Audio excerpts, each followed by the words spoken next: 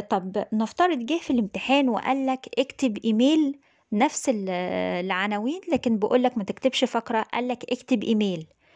الإيميل مش زي ما أنتم مفكرين موضوع صعب لا خالص بالعكس. آه، الإيميل سهل جدا وهو عبارة عن آه، نفس الموضوع نفس الفقرة اللي بكتبها لكن بكتبها في صورة رسالة. وبيجي لك السؤال في الامتحان بالشكل اللي قدامك ده. Write an email to your friend هاني اكتب إيميل لصديقك هاني أحط تحته خط لأن ده الشخص اللي أنا هرسله الإيميل. To tell him about the lunch that you had at a restaurant. هشد خط تحت الجملة اللي بعد about لأني هحتاجها وهنعرف كمان شوية هنحتاجها في إيه. بعد كده بقول your name is علي اسمك علي. برضو هنحط تحتها خط لأن ده الشخص اللي إيه اللي هيبعت الإيميل.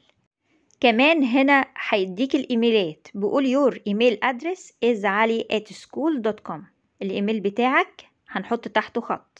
علي at school.com وعندنا كمان إيميل بتاع الشخص اللي انت هتبعت له اللي هو صديقك هاني at school.com يبقى أنا أحط خطين تحت الإيميلين تحت إيميل علي خط وتحت إيميل هاني خط.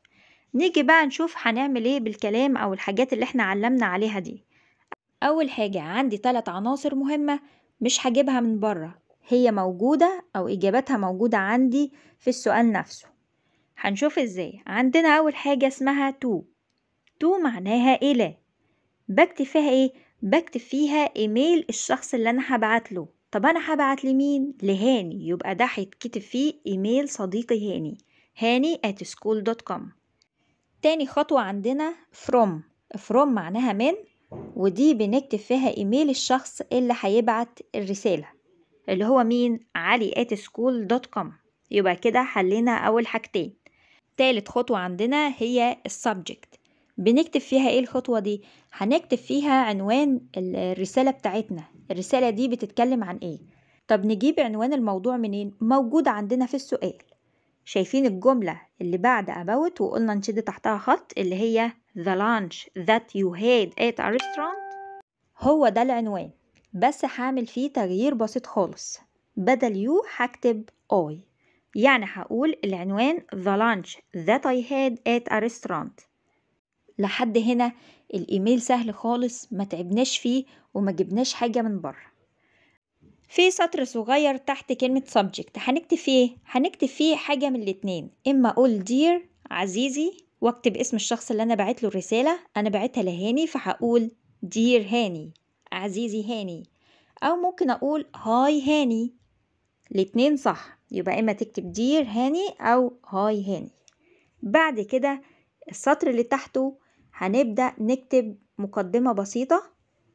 والمقدمة دي سهلة جدا وممكن نكتبها في بداية أي إيميل. طب إيه هي المقدمة؟ I am happy. أنا سعيد. To send this email لكي أرسل هذا الإيميل to you. إليك.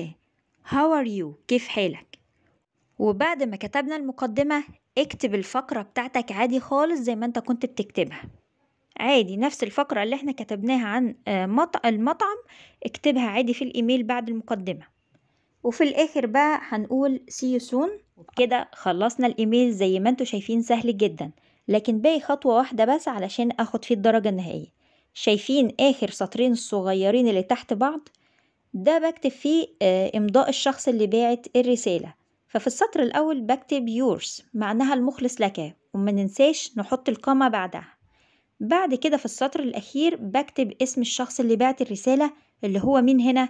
علي. Yours علي. المخلص لك علي. وبكده أنا أجيب الدرجة النهائية في الإيميل بسهولة.